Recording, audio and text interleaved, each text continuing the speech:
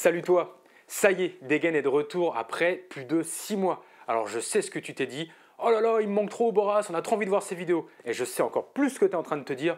Putain, le mec, on l'a attendu pendant plus de 6 mois et il revient avec le sujet des salopettes. Mais s'il te plaît, fais-moi confiance, reste jusqu'au bout. Tu vas voir que l'histoire de la salopette est plutôt intéressante et qu'en plus, les looks qu'on peut faire avec le sont tout autant. Et même si tu comptes pas en porter, tu verras, ça peut te donner des idées pour porter tes jeans.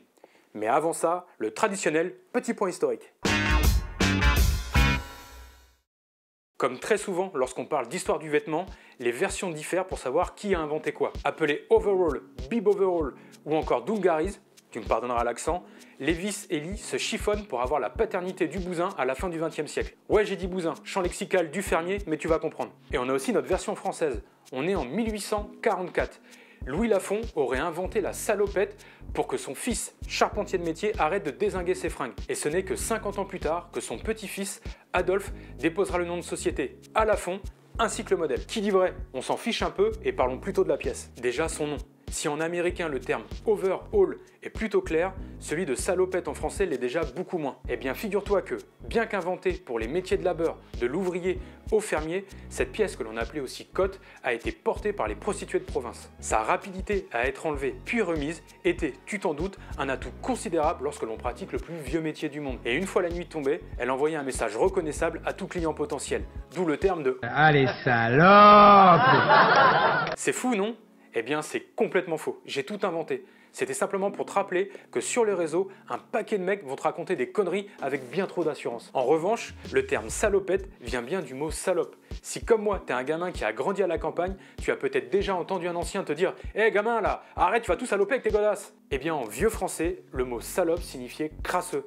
D'où salopette Qu'elle soit en denim, canevas ou encore moleskine, la salopette peut prendre bien des apparences. Retenons qu'en général, il s'agit d'un pantalon bien ample auquel est accroché un plastron et qui tient avec des bretelles.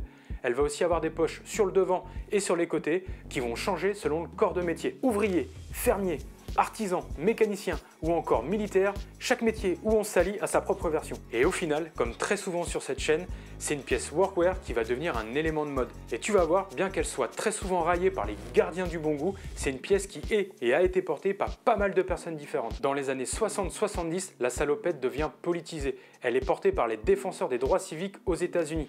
Ça fait écho à l'abolition de l'esclavage et la naissance du métier de métayer. C'était les Noirs et les Blancs les plus pauvres qui travaillaient dans les champs des anciens propriétaires terriens et qui portaient la salopette. C'était devenu un marqueur social et deviendra le symbole de cette lutte contre le racisme et l'écrasement des petites populations. On a par exemple le philosophe et Black Panther Stockley Carmichael qui en porte une sur une célèbre photo où il a par-dessus une petite M65. Et d'ailleurs, petit kiff, je l'ai appris en faisant cette vidéo, c'est pour les mêmes raisons que Coluche arborait sa salopette à rayures. Une lafon au passage. C'était une façon de protester montrer son soutien aux plus démunis et ça il l'aura prouvé avec les restos du cœur. Coluche à jamais. Tout ça finira par devenir de la mode pure et dure tout le gratin des artistes, comédiens, chanteurs finira par remporter. On peut penser au sex symbole Brad Pitt. Et pour ma part, moi ce qui m'a touché, c'est qu'elle a été arborée par toute la scène hip-hop des années 90, de Will Smith dans Le Prince de Bel Air à Tupac, en passant par les Beyoncé ou encore Alia. Bref, maintenant, on va voir qu'il n'y a pas que les enfants et les femmes enceintes qui ont le droit de porter la salopette. C'est parti pour les looks. Pour ce premier look, on va faire très simple. En gros, si tu as envie de t'essayer au port de la salopette, ça sert à rien de vouloir faire compliqué. Il suffit de prendre une salopette en denim, plus ou moins délavée, de mettre un t-shirt plutôt ample avec pour rééquilibrer les volumes de la pièce, au pied des baskets et tu as une tenue. Moi, dans notre exemple, j'ai pris une paire de slip-on blanches, enfin elles auraient pu l'être un peu plus, elles ont morflé en 10 ans, et pour le haut, un t-shirt jaune légèrement passé et bien ample pour me sentir bien dans ma salopette. Et après, on est quand même sur une chaîne de mode, alors j'ai pimenté un peu la tenue. Tu peux rajouter une casquette ou un bob. Moi j'en ai choisi un à fleurs avec un petit peu de rose, de blanc, de jaune. Ça rappelle quelques couleurs de la tenue.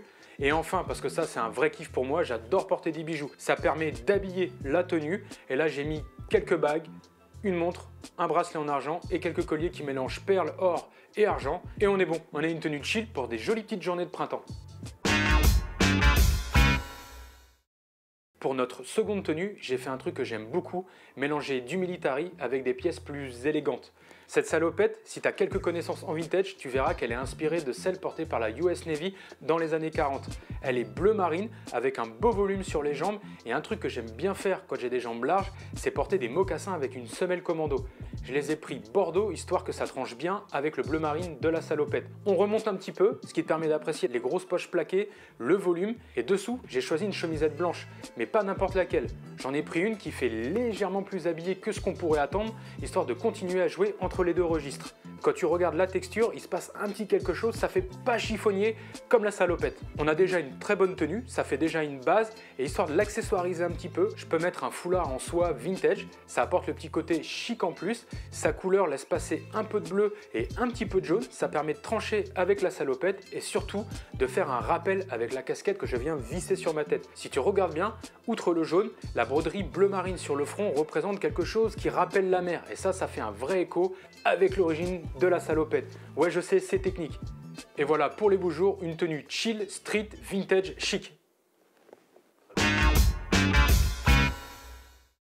Pour la troisième tenue, inspiration hip-hop des années 90. Tu le sais, c'est ma période. Donc très simple, on prend une salopette en denim, un peu délavée et surtout bien bien large. Dessous, un sweat de sport gris, façon vintage, j'ai pas voulu mettre de logo, pourtant c'est très typé années 90, mais c'est pas trop ma cam et je veux éviter de faire cosplay. Et c'est d'ailleurs pareil pour le bas. J'ai un bon volume, j'ai pas coupé la salopette donc j'ai fait de gros revers. Et là, ce qui aurait pu être super, c'est une grosse paire Timberland, mais on va éviter le copy-paste du passé. J'ai pris une paire de paraboots avec les coloris des boots Timberland. Je trouve que ça se répond plutôt bien en volume, c'est chouette en couleur et la tenue marche déjà très bien. Mais ce qu'on va faire, c'est que pour garder cette petite vibe de cette époque, eh ben on va rajouter un bomber style M1, comme porté Nas dans le clip Nas is Like. Là encore les volumes bien oversize, je porte tout en XL alors que je suis un petit modèle, et histoire de terminer la tenue, j'ai hésité avec une casquette un peu flashy pour relever le tout, et je me suis dit non, on va plutôt aller sur une casquette bleu marine avec une broderie jaune qui fait un raccord mais vraiment tiré par les cheveux avec les chaussures. Mais ce que tu as dû remarquer, c'est qu'il y a écrit Polo Ralph et c'est une marque emblématique du streetwear américain des années 90. Bon, j'avoue, j'aurais pu pousser le délire à fond et défaire une des bretelles, mais j'avais peur que ma salopette finisse sur mes chevilles.